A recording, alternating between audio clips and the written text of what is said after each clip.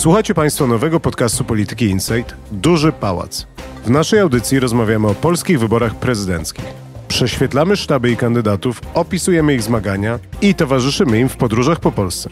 Słuchajcie, obserwujcie, komentujcie. Jest środa 18 grudnia. Dziś razem z Janną Sawicką i Wojtkiem Szackim będziemy rozmawiać o dwójce kandydatów, którzy mają największe szanse na spotkanie się w drugiej turze wyborów prezydenckich. Joanna, byłaś w sobotę na konwencji prawyborczej Platformy.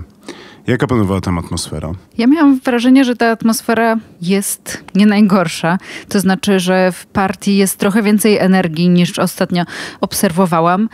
I że te prawybory nie były wcale takim najgorszym pomysłem. To znaczy, że jakoś tam zmobilizowały działaczy. Natomiast tak naprawdę to, co się działo na tej konwencji, o czym było najwięcej mowa nie ze sceny, tylko w kuluarach, to nie był temat y, prawyborów i kto będzie kandydatem Platformy na prezydenta, bo to było już właściwie przesądzone od dawna. Natomiast tematem były dalsze zmiany, które czekają partię, czyli wybory na szefa Platformy. Opowiadaj. Mam wrażenie, że w Platformie jest duża świadomość tego, że zmiany są konieczne i są niemal pewne. Ten wynik Kidawy potwierdził dość dużą słabość Schetyny. Przypomnijmy, że ona dostała około 73% głosów w tych prawyborach prezydenckich. Jej kontrkandydat Jacek Jaśkowiak wspierany nieoficjalnie, ale wszyscy wiedzieli, że był popierany przez Schetynę dostał 27%. Pomimo, że część zwolenników Schetyny poparła Kidawę i mówiła o tym wprost, to jednak 27% to jest bardzo słaby wynik jak na szefa tego ugrupowania. I dla wszystkich było oczywiste, że ten wynik Kidawę potwierdził to, że Platformy czekają dalsze zmiany. No ja tutaj się jeszcze wtrącę z takim innym wiatrowskazem. Mianowicie z tego, co słyszę, Marcin Kierwiński został współpracownikiem Borysa Budki. A jeśli Marcin Kierwiński został współpracownikiem Budki, to znaczy, że wie najlepiej skąd wieje wiatr i dokąd ten wiatr zawieje, bo nie od dziś wiadomo, że ten polityk lubi opuszczać tych, którzy przegrywają i zapisywać się do obozu zwycięzców, więc dla Schetyny chyba jak najgorsze wieści wypływają z ostatnich tygodni. Dobra, Marcin Kierwiński, można go traktować jako taki papierek lakmusowy, patrzeć, w którym jest e, aktualnie obozie i po tym poznawać, który obóz rośnie w siłę. Natomiast ja się spotkałam z taką opinią wśród zwolenników Schetyny, że Marcin Kierwiński może być też takim koniem trojańskim, to znaczy osobą ze środowiska Schetyny, który przeszedł do środowiska Wódki, żeby wysłuchać i żeby sprawdzić, co tam się dzieje. No to jeszcze ja, ja mam wrażenie, że Marcin Kierwiński jest takim kurkiem na dachu, który się kręci i że fakt, że wskazuje w pewnym momencie północ nie znaczy, że za trzy minuty nie będzie wskazywał południe. Słuchajcie, no to wracając do wyborów prezydenckich, chciałem się ciebie zapytać, Anno, jaką kandydatką będzie Małgorzata Kidawa-Błońska? Czy jesteśmy w stanie powiedzieć cokolwiek więcej dzisiaj, poza tym, że będzie kandydatką, która będzie unikała odpowiadania na trudne pytania i będzie dużo mówiła o tym, że trzeba wstrzyć naszą polską wspólnotę. Małgorzata Kidawa-Błońska, myślę, że ona musi siebie trochę zaproponować na nowo, zbudować swój wizerunek na nowo. Od kilku tygodni jest jedną z głównych twarzy Platformy i rzeczywiście jako kandydatka na premiera w wyborach parlamentarnych była taką osobą bardzo podkreślającą wspólnotę, bardzo ugodową, mówiącą o współpracy między Polakami.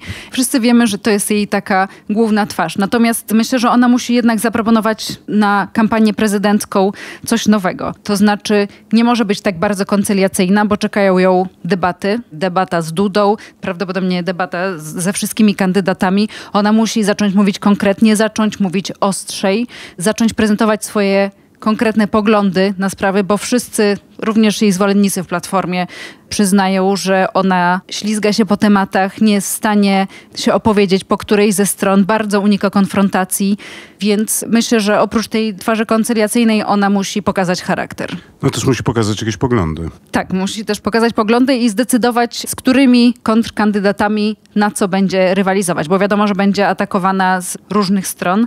Nie wiadomo jeszcze, kto będzie kandydatem lewicy, natomiast jeżeli to będzie kandydat mocny, to będzie podbierał jej ten elektorat centrolewicowy. Wiadomo, że Władysław Kosiniak-Kamysz będzie jej zabierał z kolei elektorat centrowy i przypuszczam, że to będzie kandydat, który ma szansę na lepszy wynik niż jego partia i ci nadwyżkowi wyborcy Kosiniaka to będą w większości dawni wyborcy Platformy. My w zeszłym tygodniu sporo rozmawialiśmy o tym, co by oznaczała porażka Dudy dla PiSu pytanie, co będzie oznaczała porażka Kidawy Błońskiej dla Platformy, jeśli ona nie wypadnie tak dobrze jak Platforma w wyborach parlamentarnych, jeśli ta przewaga Platformy nad Lewicą, nad Konfederacją i nad PSL-em i nad Hołownią będzie znikoma, no to może być początek końca Platformy jako drugiej siły w Polsce i pierwszej siły po stronie opozycji. To po pierwsze. Po drugie, ja śledzę poczynania Małgorzaty Kidawy-Błońskiej od dawna i prawdę mówiąc nie mam wrażenia, że ona może udźwignąć to zadanie. Mam wrażenie raczej, że ona będzie z każdym tygodniem kampanii raczej traciła niż zyskiwała.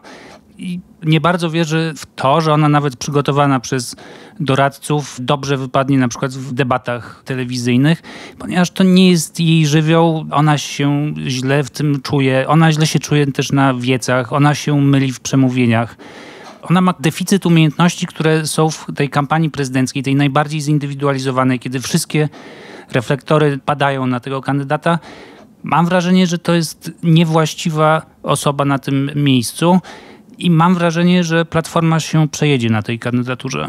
Ja mam trochę odmienne spojrzenie, natomiast dochodzę do tych samych wniosków, ale wydaje mi się, że te rzeczy, o których ty mówisz, to są jednak rzeczy, które jakoś tam można wypracować. Ten deficyt, który ja widzę, i to jest trochę odnosząc się do tego, co powiedziała Joanna, no to jest jednak deficyt wyrazistości wynikający też z jakiegoś takiego, nie wiem, braku poglądów albo braku umiejętności artykułowania tych poglądów. To znaczy, ja rozumiem, że trochę jest tak w kampanii, że można być mało znanym i opowiedzieć siebie, albo opowiedzieć siebie na nowo, ale trzeba z czegoś to brać. I mój problem jest trochę taki, że jak rozmawiamy o Kosiniaku-Kamyszu, Hołowni, Dudzie, Bosaku, czy kimkolwiek innym z tych kandydatów, nie wiem, Zandbergu, czy kimkolwiek innym, kogo wystawi lewica, to ja mniej więcej wiem, skąd ten kandydat przychodzi i co za nim stoi. Z Małgorzatą Kidawo-Błońską ja autentycznie nie mam pojęcia, kim ona jest i na czym ona by miała budować ten swój przekaz. No tak, ale to jest od kilku dobrych lat już po prostu problem Platformy, że ona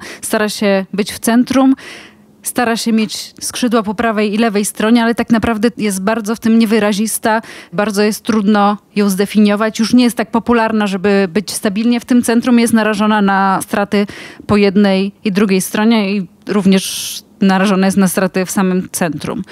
Natomiast wydaje mi się, że to też jest tak samo jak umiejętność uczestniczenia w debatach, przekaz i te poglądy, których Kidawa Błońska ma lub nie ma, to też są rzeczy, które mogą być wypracowane przez sztab, mogą być wypracowane w kampanii, tylko na to też potrzeba czasu, potrzeba bardzo dogłębnych badań, żeby sformułować kierunek jasno i w którą stronę dążyć. Natomiast tego czasu zaczyna być coraz mniej i też wiadomo, że jeszcze nie rozpoczęły się konkretne prace w tym kierunku, ponieważ Platforma czeka na swoje wewnętrzne rozstrzygnięcia dopiero pod koniec stycznia albo w ogóle na początku lutego. Jeżeli będzie druga tura wyborów wewnętrznych Platformie, poznamy szefa Platformy, a od tego, kto będzie szefem Platformy, zależy też jak się ukształtuje sztab, kto będzie odpowiadał za tę kampanię, kto będzie mógł mieć wpływ. Przepraszam, ale ja nie lubię tej opowieści. W sensie uważam, że to nie jest tak, że żeby mieć jakieś poglądy, trzeba najpierw wszystko bardzo dobrze zbadać i zobaczyć, jak to będzie działało w jakich segmentach elektoratu. To znaczy, to są dwie różne rzeczy. Jedna rzecz to jest, trzeba mieć te poglądy, a potem może rzeczywiście je zbadać i zobaczyć, w jaki sposób będziemy je opowiadać. Natomiast mi trochę chodzi o to, że nawet na etapie kampanii parlamentarnej Małgorzata Kidawa-Błońska bardzo nie chciała wypełnić kwestionariusza portalu Mam Prawo Wiedzieć.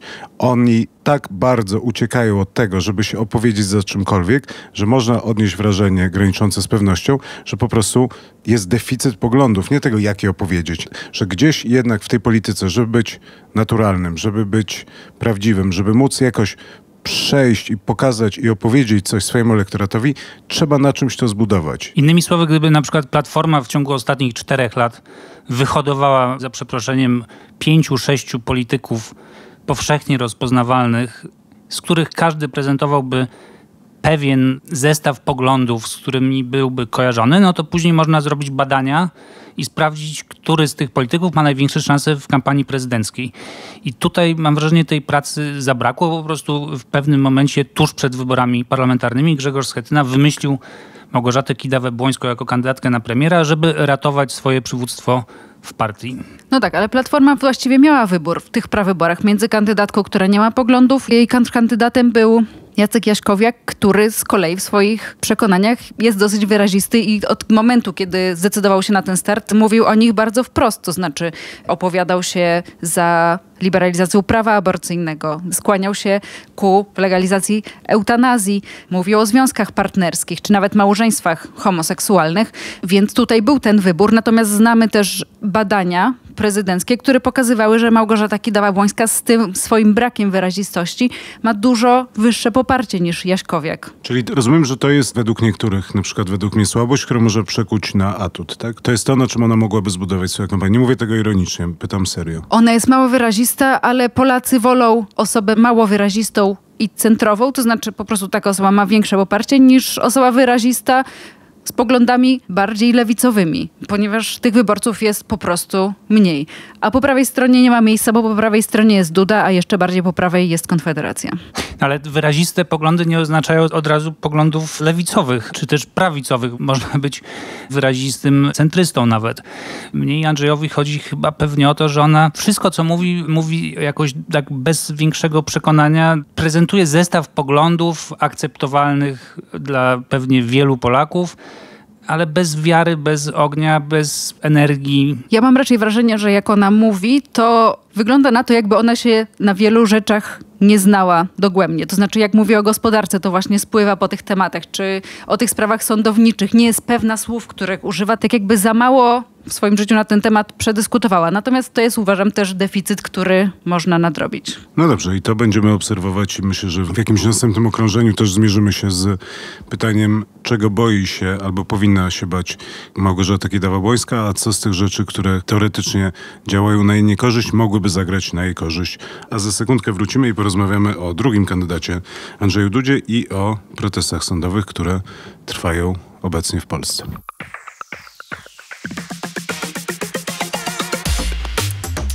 Dzień dobry. Nazywam się Robert Tomaszewski. Od siedmiu lat w Polityce Insight zajmuję się sektorem energetycznym i polityką klimatyczną. Zapraszam Państwa do słuchania nowego podcastu Energia do zmiany, w którym opowiadam o najważniejszych wydarzeniach w energetyce, o trendach technologicznych i zmianach regulacyjnych w Polsce i Europie. Z moimi gośćmi dyskutujemy też o konwencjonalnych i odnawialnych źródłach energii.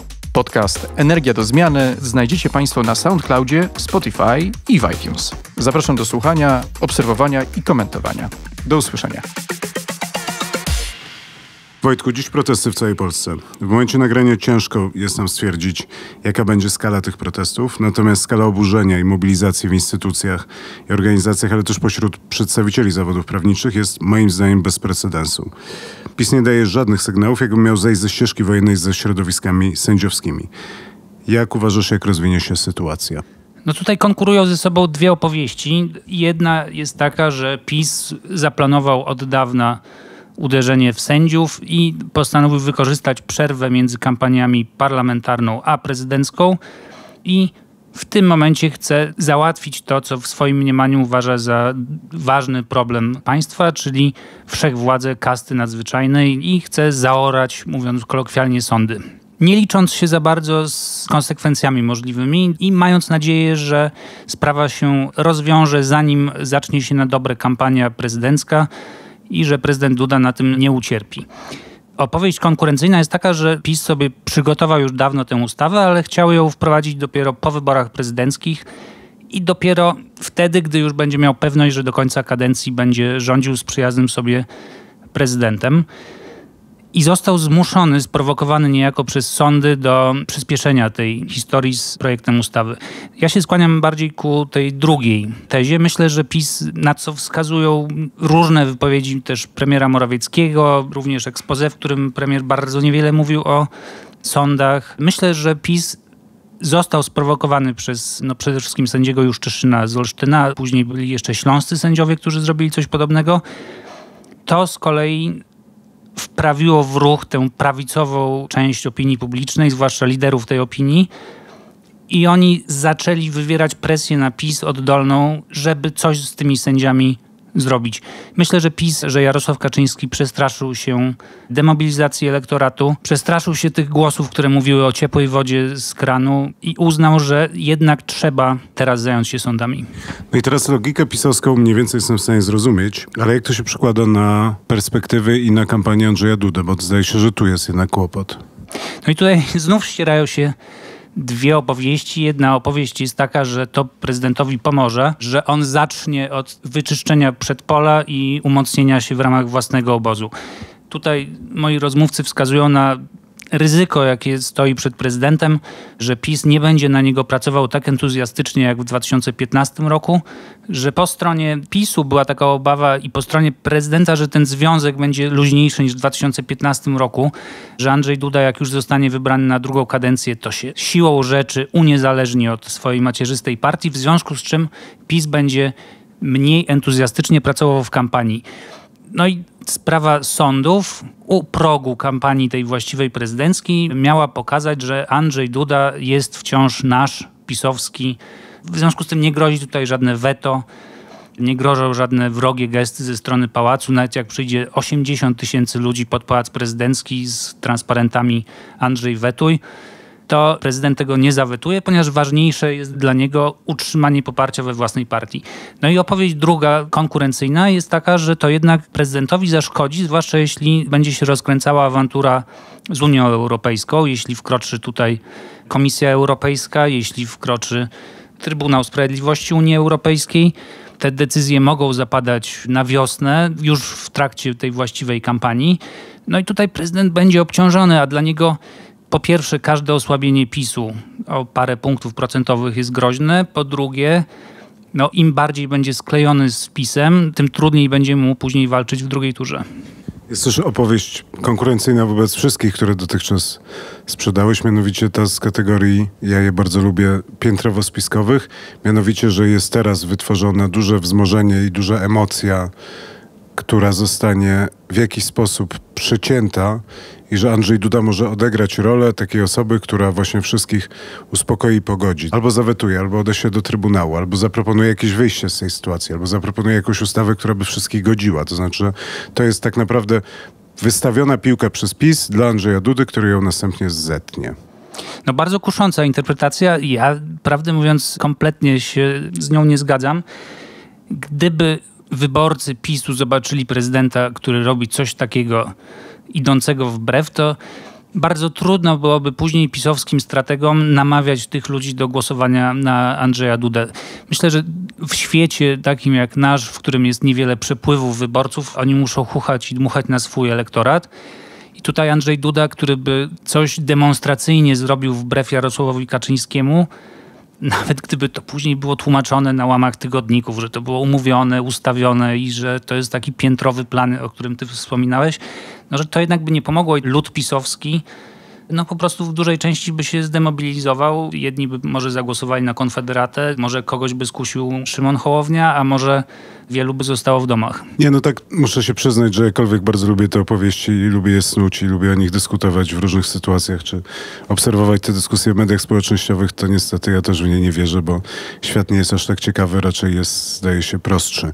Więc kończąc te dywagacje, myślę, że to, co możemy sobie teraz powiedzieć, że prawdopodobnie wzmaga się polaryzacja, wzmagają się emocje i to przełoży się na całą kampanię wyborczą.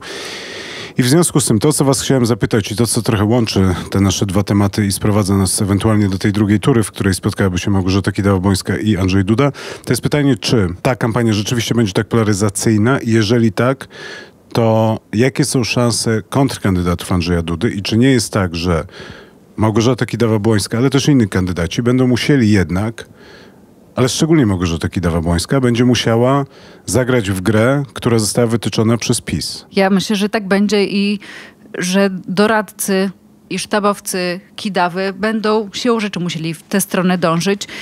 Wiadomo, że właściwie wszystkie ostatnie kampanie w Polsce tak wyglądały, że te dwie główne partie dążyły w stronę polaryzacji, a te pomniejsze chciały, żeby ta polaryzacja była jak najmniejsza. Teraz mam wrażenie, że ci kandydaci depolaryzacyjni są stosunkowo silni, to znaczy Kosiniak-Kamysz na pewno jest najsilniejszym kandydatem na prezydenta PSL od czasów Waldemara Pawlaka co najmniej od czasów Waldemara Pawlaka. Pojawił się Szymon Hołownia, który kilka procent co najmniej myślę też zdobędzie i myślę, że to dążenie w stronę depolaryzacji będzie bardzo duże. No jest oczywiste, że w żywotnym interesie Platformy leży podtrzymanie polaryzacji i utrzymanie tego podziału na PiS i Platformę.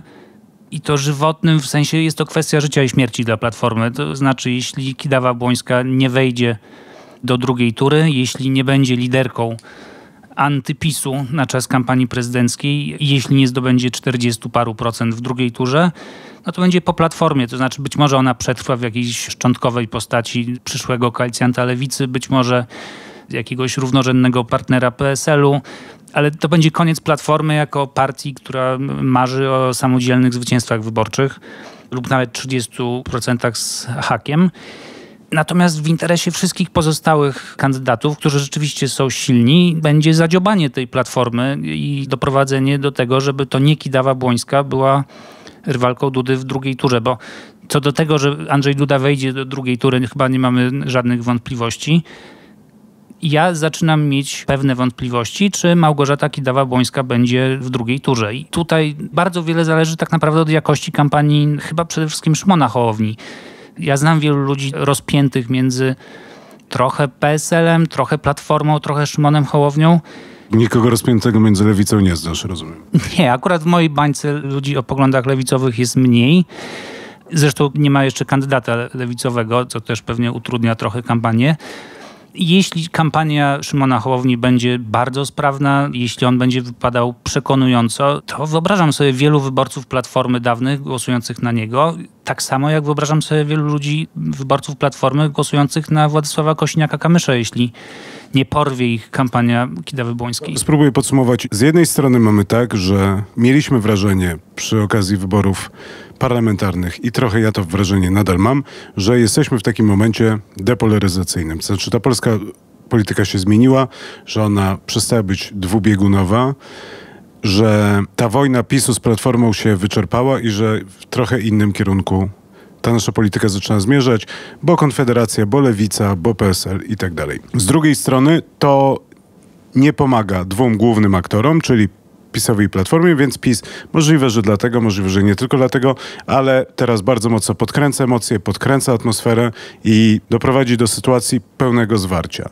To zwarcie teoretycznie powinno zagrać na rzecz Platformy i Małgorzaty Kidawy-Błońskiej, która będzie mogła jednak siebie opowiedzieć jako inny kandydat niż Szymon Hołownia, który przychodzi jako ten kandydat wspólnotowy, niż Kosiniak-Kamysz, który chce być tym normalnym, mądrym, rozsądnym centrum, które właśnie ucieka od tej wojny plemiennej, więc teoretycznie, jeżeli Małgorzata Kidawa-Błońska potrafiłaby się opowiedzieć inaczej, no to ona potrafiłaby być tym naturalnym kontrkandydatem dla Andrzeja Dudy w kampanii, która wbrew trochę atmosferze byłaby polaryzacyjna. Ale zobaczymy to w pierwszej turze. Natomiast to, co jest, wydaje mi się, w tym momencie najciekawsze, to jest druga tura. Bo jeżeli tak będzie, jak sobie tutaj wyrokujemy i rozmawiamy, to to napięcie między tym, czy Polacy, wyborcy chcą mieć kandydata, który gra w grę, czy gra w wojnę PiS Platforma, czy jednak będą szukali kandydata, który od tej wojny próbuje odejść, uciec, zbudować wspólnotę, znaleźć jakąś inną opowieść, zszyć i tak dalej,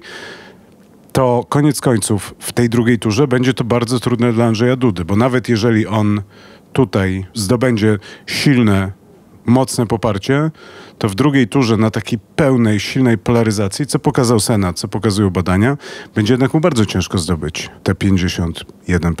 A to akurat bardzo zależy od tego, jak rozłożą się wyniki w tej pierwszej turze, bo jeśli on będzie miał 45% na przykład w pierwszej turze, lub nawet jeśli powtórzy wynik PiSu, czyli tam 43% powiedzmy, to dobicie do tych 50% jest stosunkowo łatwe, bo Część wyborców Kośniaka-Kamysza na pewno na niego zagłosuje, część wyborców Konfederaty też na niego zagłosuje. Załatwienie tego drobnego wzrostu z 40 paru procent do 51 jest w miarę proste. Zwłaszcza jeśli jego rywal lub rywalka będą startowali z pułapu 20 parę procent, co też nie jest całkiem wykluczone, bo te głosy mogą się bardzo rozbić między kolejnych kandydatów i wtedy tak naprawdę wybory rozstrzygną się w pierwszej turze, a druga tura będzie już tylko formalnością. Jeśli ten wynik byłby bardziej na styku, a przede wszystkim jeśli Andrzej Duda nie miałby tych 40%, tylko 38-37%, a jego rywal lub rywalka 30%, robi się bardzo ciekawie i wtedy Andrzej Duda nie może mieć pewności zwycięstwa, zwłaszcza, że to będą takie tygodnie, w których uwaga całej Polski będzie skupiona. Będzie myślę jakaś taka dynamika sprzyjająca komuś innemu niż urzędującemu prezydentowi. No dobrze, więc trochę tradycyjnie pogadaliśmy, sporo nie wiemy, zastanawiamy się, jak to wszystko się rozegra. Więcej będziemy wiedzieli pewnie w czerwcu. Więcej będziemy wiedzieli w czerwcu, natomiast yy, myślę, że to jest fascynujący czas i że tak naprawdę to, co się wydarzy dzisiaj, czyli początek tych protestów sądowych, to, co się wydarzy przez najbliższe trzy dni, czyli posiedzenie Sejmu, na którym będą te ustawy sądowe procedowane, oraz na początku roku, kiedy trochę utasuje się nam ta sytuacja i będziemy wiedzieć, czy rzeczywiście PiS poszedł na pełne zwarcie, czy jednak będzie szukał jakiejś możliwości wyjścia z tego klinczu, to nam bardzo wiele powie o tym, jaka będzie ta kampania i tym samym może da nam jakieś wskazanie, w jaki sposób ona się dalej potoczy, choć pewnie też będzie dużo zmiennych i dużo niewiadomych, które ciężko będzie nam ocenić, zanim się nie wydarzą. Dziękuję bardzo Wojtku, dziękuję bardzo Joanna. Dziękuję. Dziękuję.